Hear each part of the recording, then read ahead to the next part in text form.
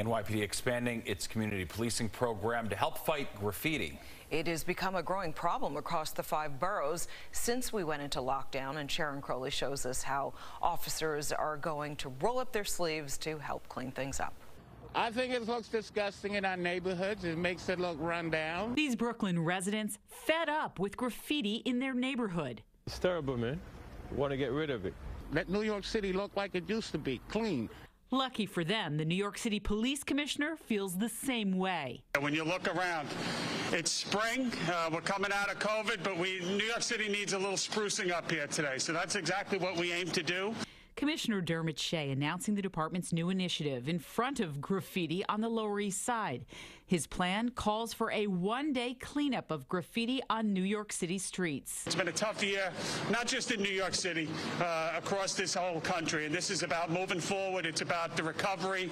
It's about coming out together, cleaning up. And, and you know, that, that's the big statement we want to make. On Saturday, April 10th, police officers, community leaders, and volunteers will spend the day painting over graffiti in neighborhoods all over the city. We're going to clean up a lot of this graffiti that's really just uh, all over the neighborhood and making it look bad. It's a neighborhood nuisance problem here on the Lower East Side. Police hope cleaning up together, people who live in these communities will have the added benefit of improving relationships between cops and residents. They've set up an email address where you can report graffiti in your neighborhood, graffiti at nypd.org.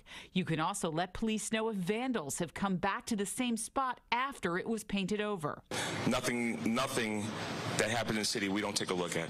Police have had thousands of complaints about graffiti during the pandemic when city streets were less crowded. They also saw more graffiti complaints coming after a summer of protests here.